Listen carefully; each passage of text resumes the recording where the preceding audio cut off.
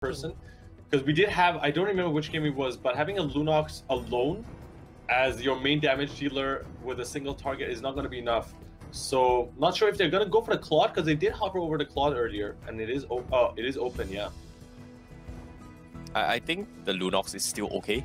Uh, just because like single target wise, he can burst down one of the players here, and Resurgence don't exactly have super tanky heroes compared to what the Uranus, obviously, which uh, Faras hates, and also the Atlas. but it's a love hate relationship, bro.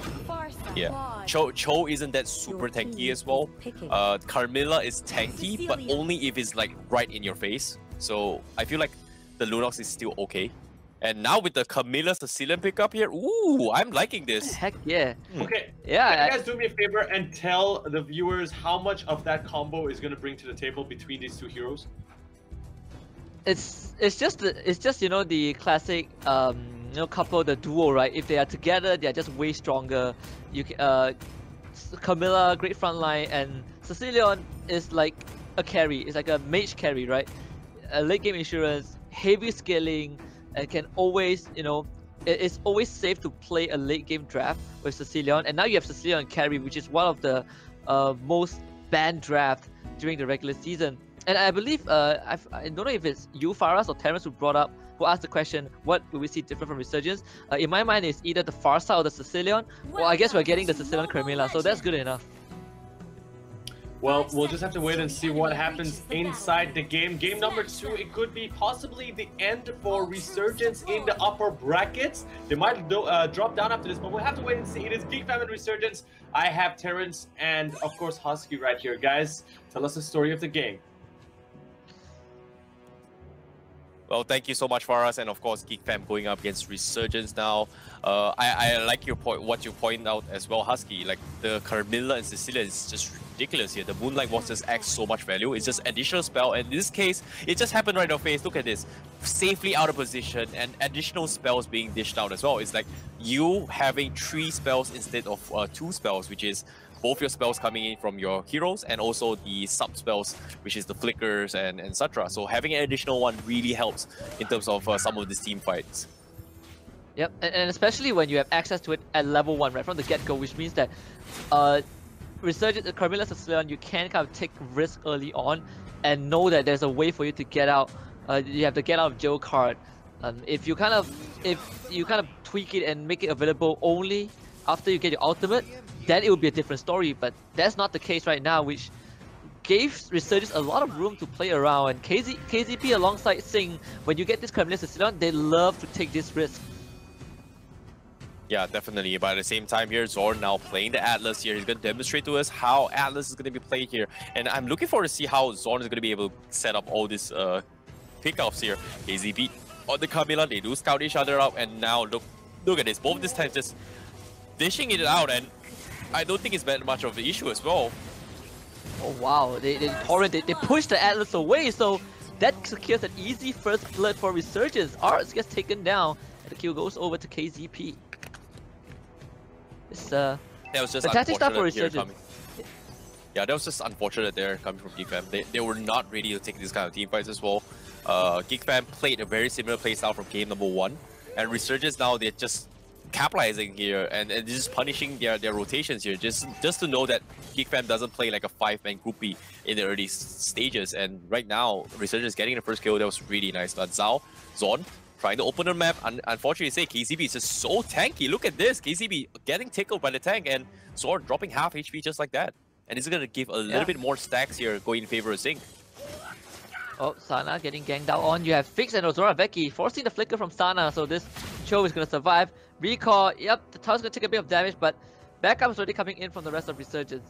And, and I like how uh, more more and more teams are starting to figure out that, okay, Uranus, not strong, pre-level 4. All you need to do, get an early gang uh, to kill him off, but better Astra is gonna kill up Jason in the middle lane. Oh, that beautiful, beautiful stuff here coming from Zorn as well as Dominus. The Pharsa RKO combo with Atlas. Just so much damage. But now Zorn does not have the ultimate available. He's going to buy a little bit of time here. Engagement come Ooh, in. RSG going to go for the commit here, but from the sides as well. Zoroveki going to be zoning LY4 from the sides. And Zorn, once again, he's still messing around one of the players here with the Cho. And unfortunately, he still survived. So a lot of attention being diverted away. But still, on the contrary, Geek Fam loses dominance in the process. Yep.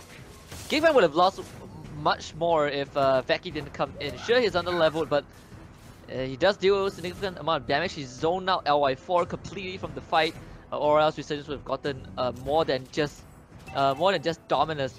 So either way, it's, it's uh, a slight win for Resurgence. They got the Pharsa. Uh, they also got the Turtle. And again, LY4 still given the space that he needs. I, he is just so good, right? He, he clears the boss side jungle. Now he's gonna take the bottom lane.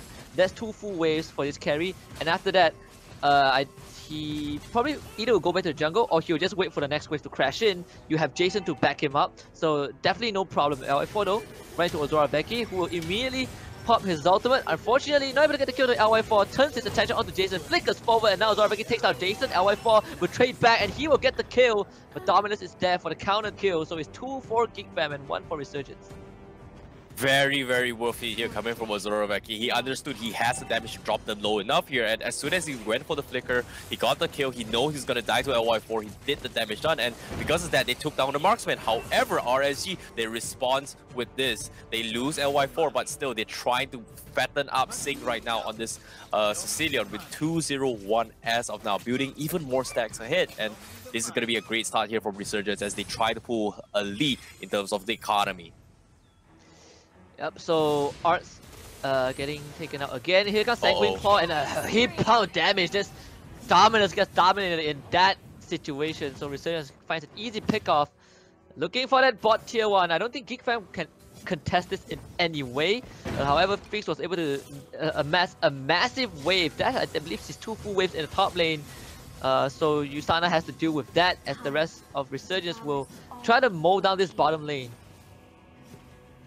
Yep, and at the same time as well, they try and buy enough time here. Zorn is trying his best to control his lane here, but unfortunately say, it's been a tough one here. But now Azurabeki brings with the brilliance and a big Oh. RKO pulls him back. And now here comes the Far Pharsa, and they shut down Tree Man from beside the Resurgence. My oh my, the, the Atlas Pharsa combo is just unreal. Yeah, Zorn with it, another good flicker. And when you win fights around objectives like this against Geek Fam, they're gonna take mo more than that. Kill three members, they take the turtle. Now they turn their attention uh, to the bottom lane. Fortunately enough for Resurgence, they're not gonna lose any structures as of now. Um, the wave was pushed out in the bottom lane as us will go to work on that. But silver lining is LY4 still kind of in a good position, having those farms coming in, matching up with Fix on that Cloud. Um, Geek Fam though do have an advantage because they took the mid tier one and, and they're ready for another fight. Resurgence have to be really careful. Oh no, Sing here getting caught out once again, but at the same time, Fix will shut him down with the at the edge here with the feathered airstrike, and that's gonna be Cecilion down for the count. And this is not looking too good for Resurgence here because Geek Fam, they're picking off the right targets as of now, and now Arts is gonna be out of control with this Uranus with the split push, and LY4 gets picked off from the sides as well immediately. Uh, recall spam coming from Zorn. The mind games are in play now, Husky. Oh, here we go. Zorn just uh, a classic male recall, recall emote, uh, mental warfare. So LY4 is slightly uncharacteristic for him to get caught up, but it's just Geek Fam making the right decision uh, to rotate. However, for Resurgence again, you have to carry, you have the Cecilion. Late game is never going to, going to be a problem. They just have to kind of stave out Geek Fam.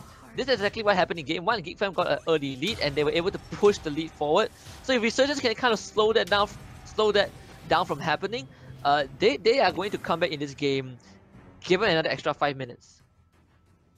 Yeah, it, it, there is a possibility for that. However, in terms of the tanky department here, they need more tanky items up onto his KZP because him as a solo tank is going to be a tough one here. And based on the itemizations, you can see Resurgence, uh, they have a Athena shield up on Valir, which is quite surprising. They're diverging all their economy in towards the Cho into a full damage on Sana. So uh, they might need to drag this uh, longer a little bit here before they have actually stand a chance of what Geek Fam is coming in. But as of now, you can see Geek Fam, they're setting up shop for the turtle in case Resurgence contest this, and Zorn is ready for the big RKO. Will he go for it here? KZP comes in, he's looking for Jason. Zorn, is he gonna go for it? it? Seems to me Jason in some trouble, and the Torrent will force him back, so he's gonna be fine for now. Yep, as long as Jason has Torrent, uh, it's not gonna be easy for Zorn to get an Atlas RKO uh, unless you know he gets the flicker to connect. But just so much patience from Geek Fam. They they have they they they did this in game one where uh, Zorn Dominus hides in the brush, someone comes near, uh, especially Jason, and he just gets killed off. This is kind of the similar tactic that, that they're uh, applying in game two, but Resurgence they should have realized by now that they're, they're not on a timer. I think they're pretty fine playing in this situation. As long as they can get the farm, uh, Constellation Prize will be multiple pickouts, and Zorn might be the target as he walks into three man ambush. Ozoroveki is there trying to provide backup. Zorn will have to flicker away, uses his body double, and Ozoraveki will also try to get to safety, but he has to flicker away as well for the airstrike just to zone out the rest of Resurgence. Uh, and Zorn will get out. Yep, on the contrary here, Fix was able to take a tier 2 down bottom here. This Cloud Split push is almost level 15, 9 minutes of the game. And now going for a solo fight here, Blazing Duet, almost shutting down Sana, oh. actually getting the kill. But KZP was lying in wait at the mirror. But the assist from Geek Fam is here. He's gonna try and burst him down. But the save from Sig with the Moonlight Waltz. And KZP lives to tell the tale. My goodness. Oh, KGB, I, I'm surprised that he did not go down. Uh, so, so much resistance from this Carmilla. Unfortunately, they had to give up Sana. Uh, first death for this show. Feather Ezra comes in again. Another Blazing Duet fixes his attention on the LY4. That's a solo kill on the carry. 35 seconds down for the marksman of Resurgence. Cecilion not able to retaliate enough. And Fix playing out of his mind. LY4, third death of the game. 10 minutes in the game so far, the Cecilion is slowly gathering his stacks, but it's not gonna be enough because as of now, GeekFam, they're just leaving them choked at their base right now, and they do not want to give Sing any kind of opportunities to come up online, but as of now, this is the best they can do for now from the side Resurgence. And Sana getting focused down, GeekFam will shut him down, mega kill for Feeks right now, 4-0-4, GeekFam going out of the mine, and they're to be objective driven right now. What is the damage? That is absolutely insane. Solo kills uh, Sana, solo kills LY4 with a full 10 stack Blazing Duet. I, the confidence from Feeks is absolutely through the roof and Geekfam is not gonna secure that Lord. I don't think Resurgence can contest this.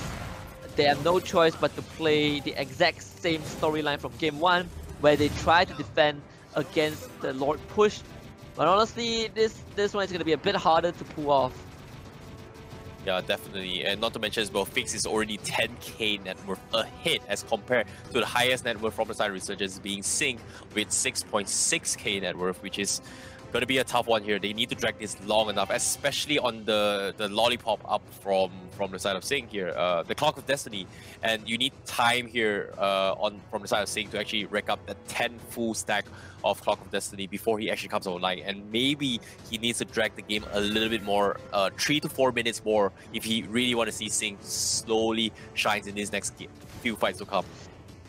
Yeah, and I think it's the same same situation for LY4 as well. You kind of need to drag up uh, three to five minutes more. Uh, that is under the premises that they are actually able to get farm, but if they are choked in their base, then that kind of just goes right out the window because they are not getting resources. Um, passive go is just not sufficient at all. So Lawrence is gonna push down bottom lane. Geek Fam again, free oh. goes in with Well, he takes out Jason and he gets out the the man the man with guts of steel and Geekfam might be looking for the win as they just instantly knock on the door Resurgence, better airstrike just to zone it out. They're gonna take out the rest of the inhibitors and they're gonna rush right in. Zorn goes in on KO on 3! And Resurgence might be obliterated this time. Dominus gets caught by one of the Dragon Ball. Ozoroveki is in the back line, flickers away to safety, and Geekfam might have earned themselves the revenge. They're gonna finish up KZP, Fix shoots down the crystal, and Geekfam sends Resurgence to the lower bracket. Watch out, watch out, watch out, man. What an Atlas ultimate towards the